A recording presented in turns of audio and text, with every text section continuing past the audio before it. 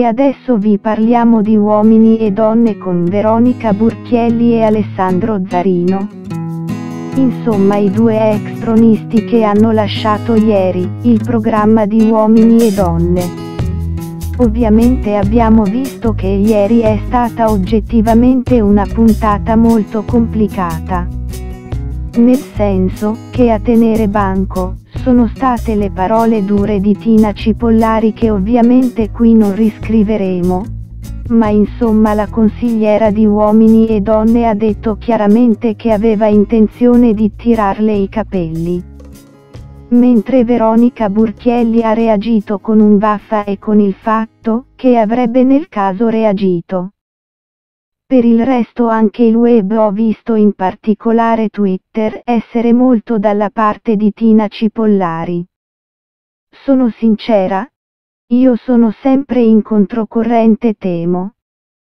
Nel senso, che ho molti dubbi sul reale interesse di uomini e donne di Veronica per Alessandro.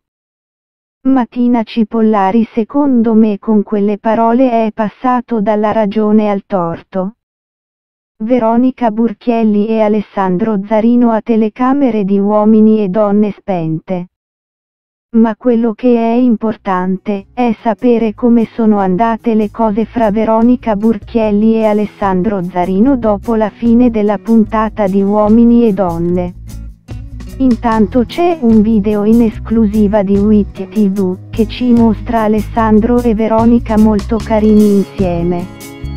Ossia si vede chiaramente che sono molto imbarazzati. Alessandro Zarino bacia Veronica Burchielli in studio. Clicca sull'immagine per vedere l'intervista esclusiva da Witty TV. E dopo ancora abbiamo notizie che Alessandro abbia portato Veronica nuovamente a Napoli. Questa volta senza le telecamere e pare che comunque abbiano passato tutta la settimana insieme. Quindi a quanto pare dopo la fine delle riprese, pare proprio che le cose fra Veronica e Alessandro siano andate molto bene.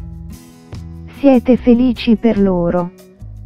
Oppure avete dei dubbi? E se avete dei dubbi su chi? Avete dei dubbi su Veronica Buchielli? Su Alessandro. Su entrambi. Puntata bella tosta quella di ieri. Non credete? In ogni modo verso le 15 di oggi inizia una nuova registrazione del trono classico.